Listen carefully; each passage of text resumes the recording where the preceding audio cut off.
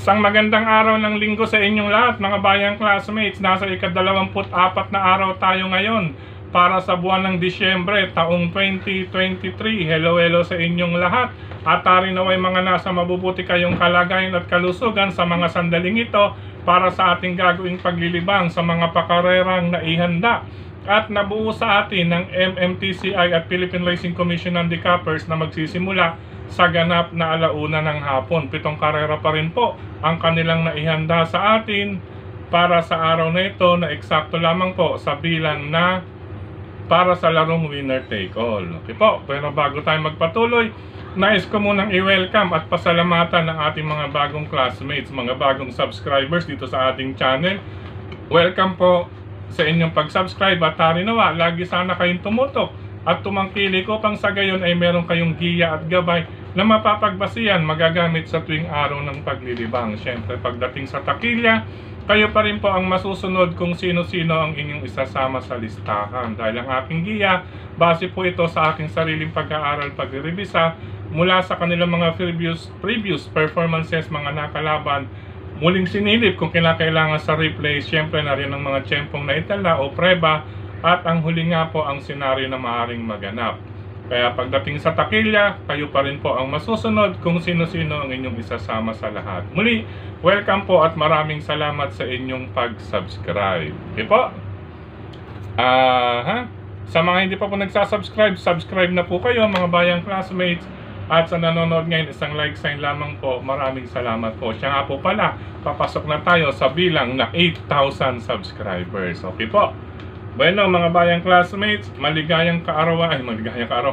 Sa pagkakataon namang ito, maligayang Pasko po sa inyong lahat, mga bayang classmates. Sa nawa, bago tayo magsalo-salo mamayang hating gabi, ngayong ika-24 o ika-24 ng Disyembre bago sumalubong sa Pasko, ay magsimba po muna tayo na po bago po ang ating salo-salo sa ating uh, pagdiriwang o pagsalubong sa Kapaskuhan. Bukas ng umaga, pwede rin po magsimba ang araw mismo ng Pasko. Okay po? Umpisahan na natin ang ating mga giya. Race number 1 para sa unang puntusan ng winner take all covers races 1 to 7. Uh, isang 3-year-old and above maiden race mga bayang classmates sa karerang ito Una kong pili, number 4, Give Me a Break. Nasasakyan po ni Apprentice J.R. De Ocampo.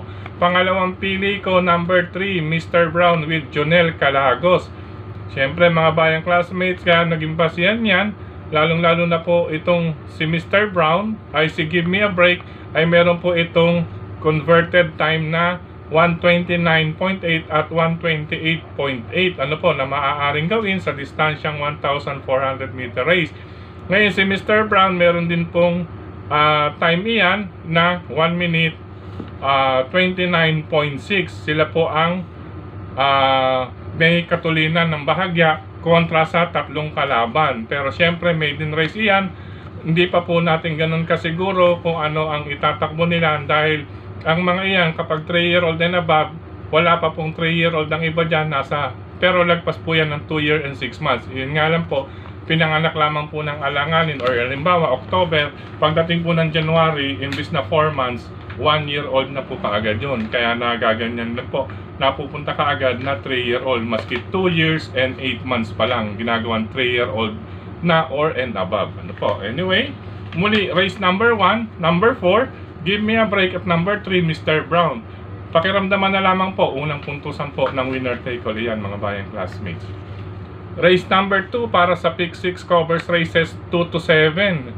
Sa karerang ito mga bayang classmates, yung tatlo po ang naging pamilyan. Pero uunahin ko sa tatlo ay yung may remate. Ano po? Number 3, abakada na sasakyan po ni Elvin Abreya dahil po sa distansyang 1,400 meter race or 1,400 meters na distance, 7 oktabo kung tawagin. Panigunda ko, itong number 6, may remate rin na si Indelible Quaker na sasakyan ni Pabs Caballero.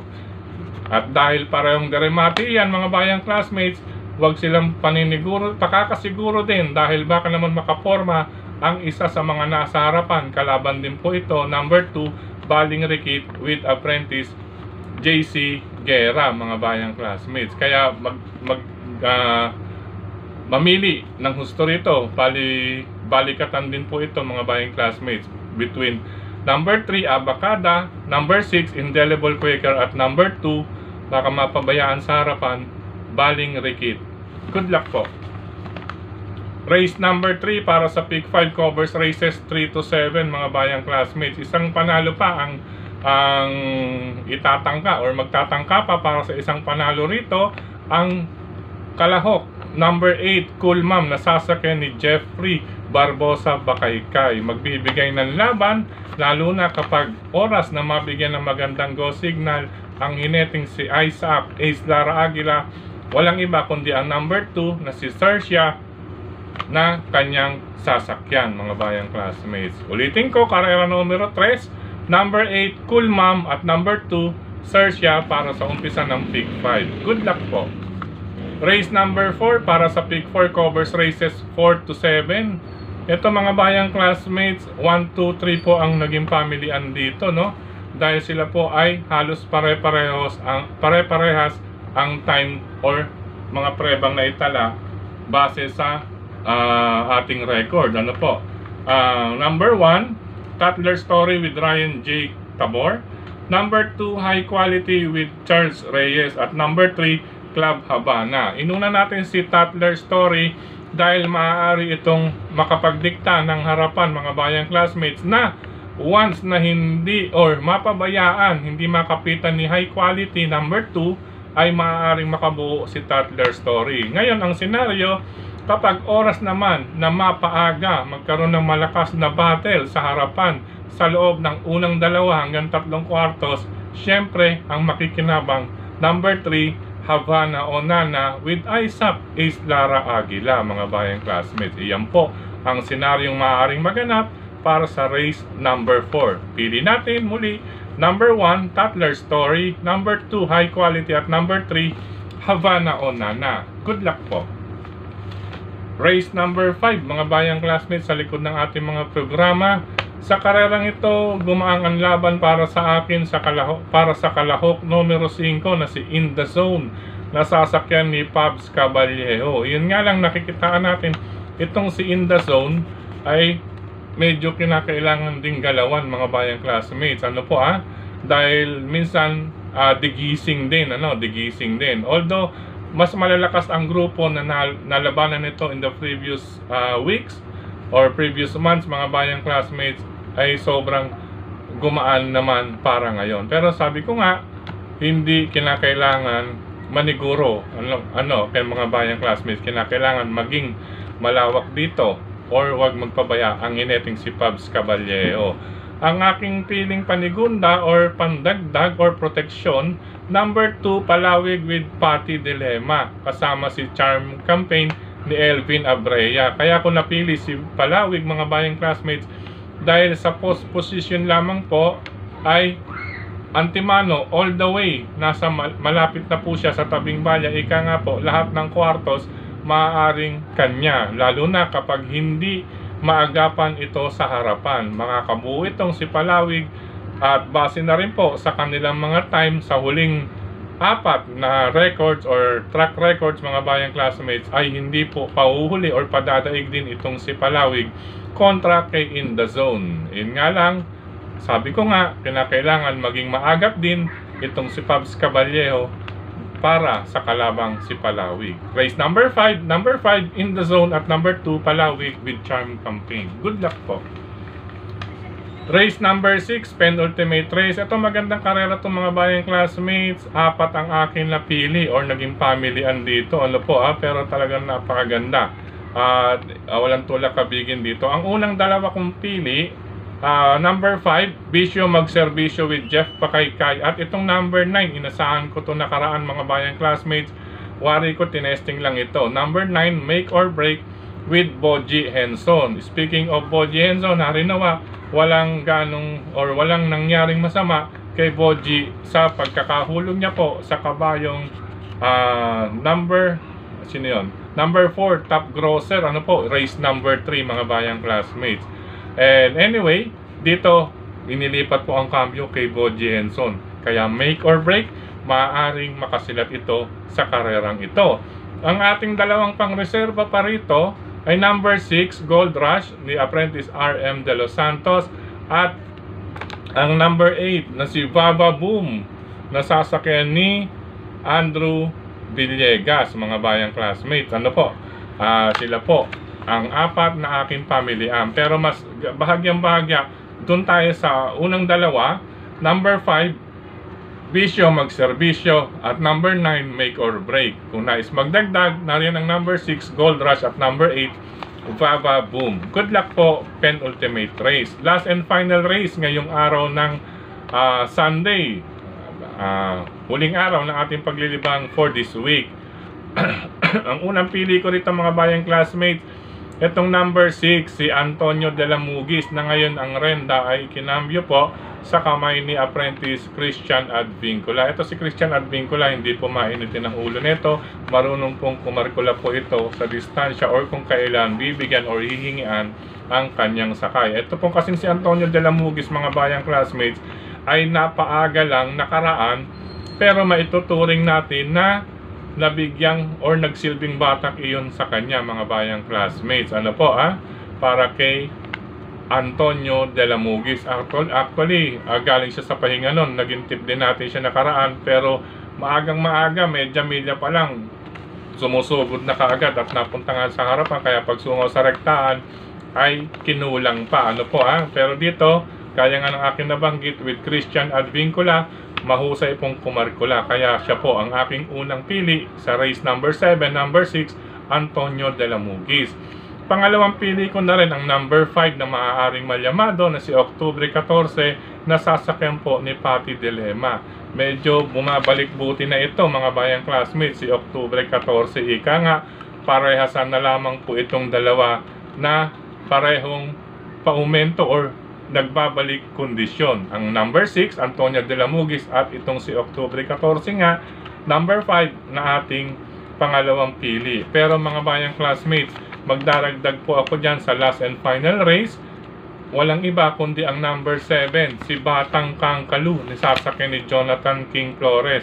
Base sa track record sa huling kanyang dalawang takbo from, one, from 129.6 na uwi sa 128 sarado converted time po iyan kaya maaari makapagbigay din po ng banta ang number 7 na si Batang Kangkalu.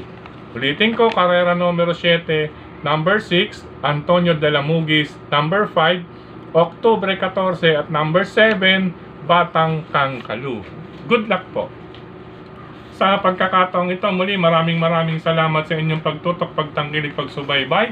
Higit sa lahat po ang pagtitiwala mga bayang classmates. Maraming salamat pa rin sa suporta sa atin palagi ni Sir Dennis Gonzales, ah, Brother Drasen Padilla, Brother Daniel, programa sa Bayang Karirista, Kilatis, mga bayang classmates. Ano po?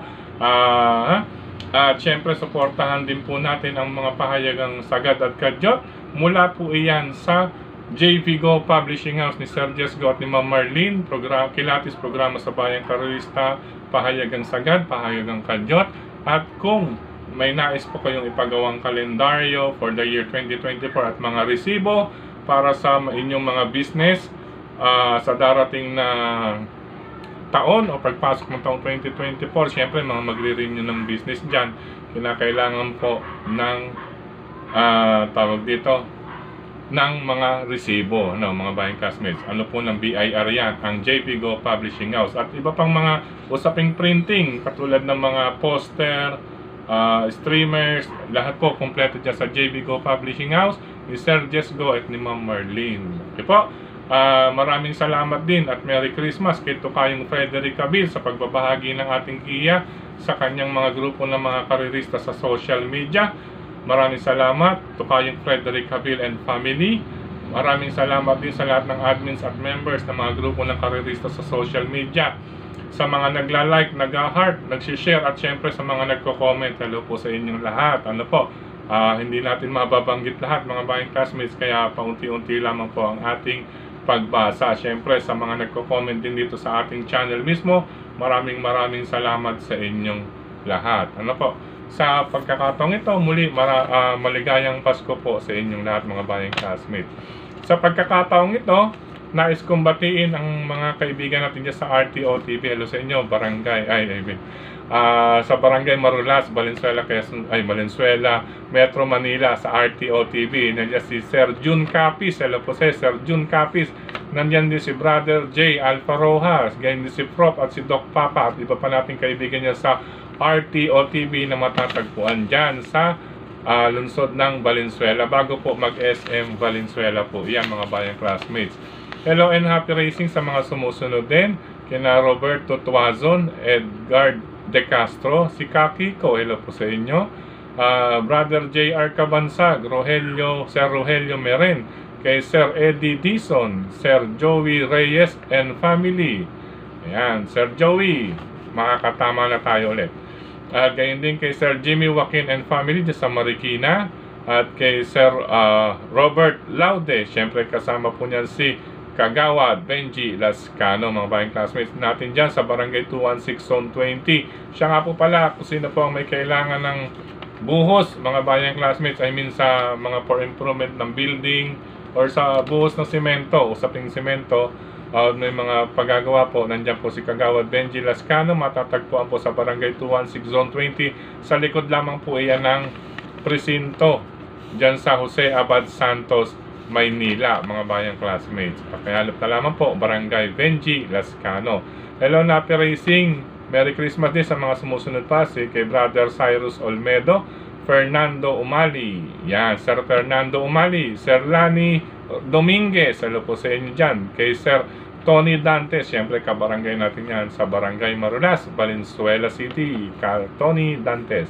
Gayun din, Merry Christmas pa sa mga sumusunod. Eduardo Concordo, Ronaldo Sembulan, Orly Abeganya Santos, Arnold Marquez, yan.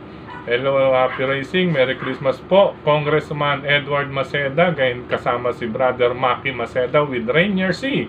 Siyempre kay Congressman Marvin Rillo and family rin, mga bayang classmates, dyan sa 4th District, lungsod ng Quezon, mga bayang classmates. Merry Christmas po. Gayon din kay Congressman Mark Ryan Ponce. Merry Merry Christmas po. Gayon din kay Sir Johnny Chonlock. Nakatutok din po sa atin yan, Sir Johnny uh, Chonlock. Uh, Merry Christmas po sa inyong pamilya. Aha. Gayon din kay Sir Pau. Sir Pau Crisostomo, mga bayang classmate, Dalubasang Buraot. Merry Christmas, Sir Pau.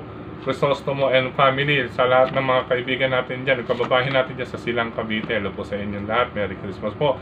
Ganyan din kay Sir Solid JC de los, de los Reyes, hello po sa inyo, Sir Solid JC de los Reyes.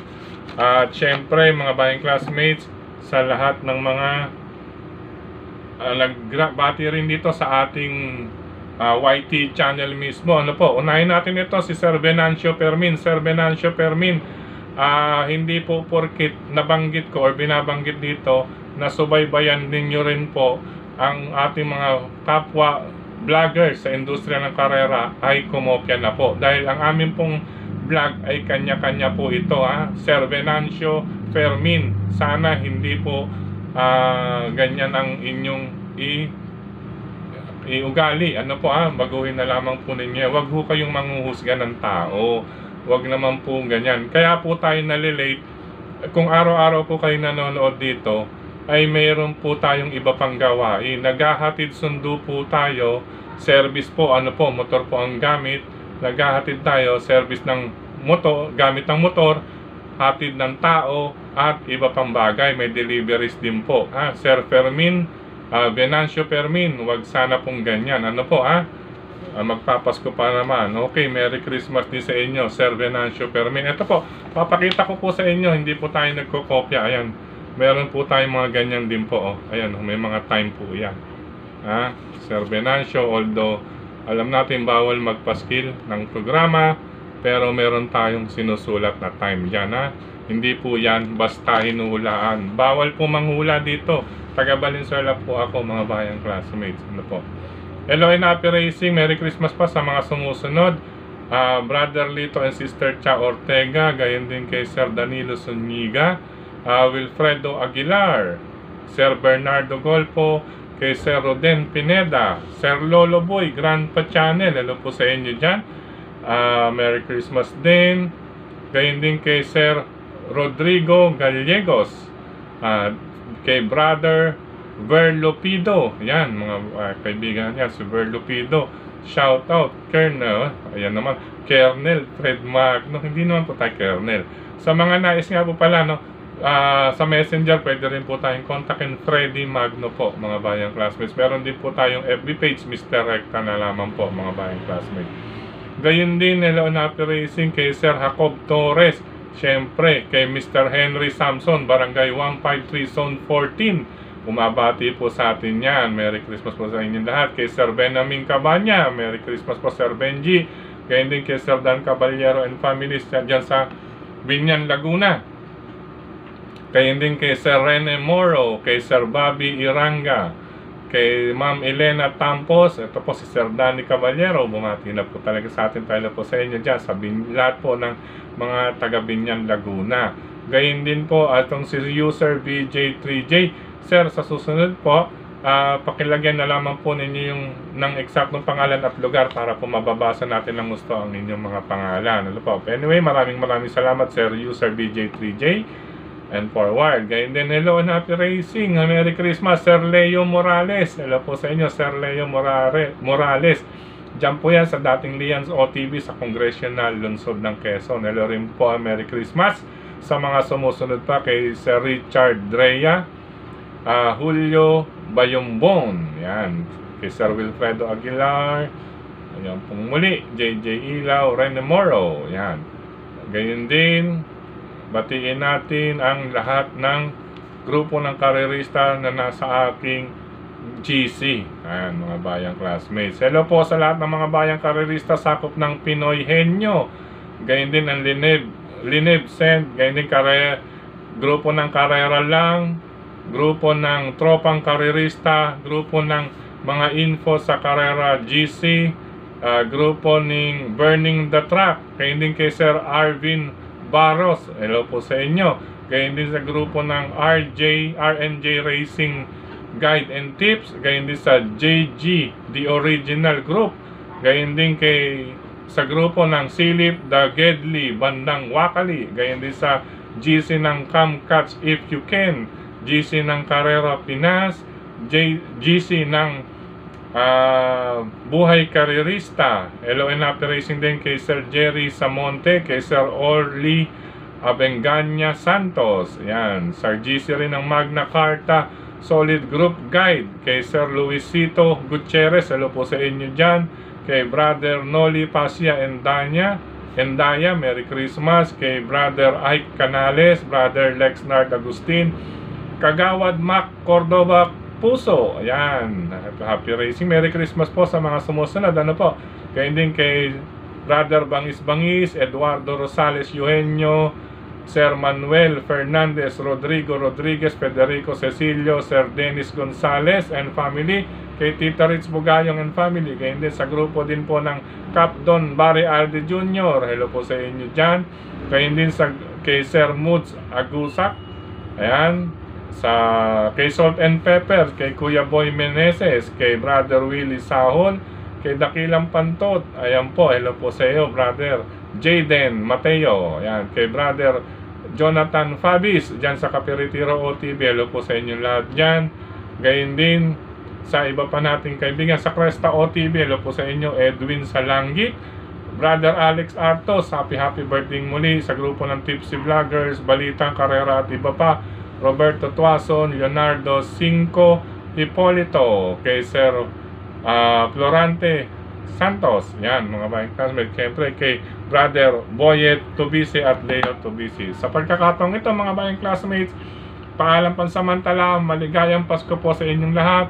Ah, ingat po sa lahat ng lalabas pa ng tahanan, sa mga mamamasyal, sa mga magsisimba mamayang gabi at bukas ng umaga, araw mismo ng Pasko at masaya po nating pagsalu-saluhan ang ating Noche Buena sa gabing ito mga bayang classmates. Ano po?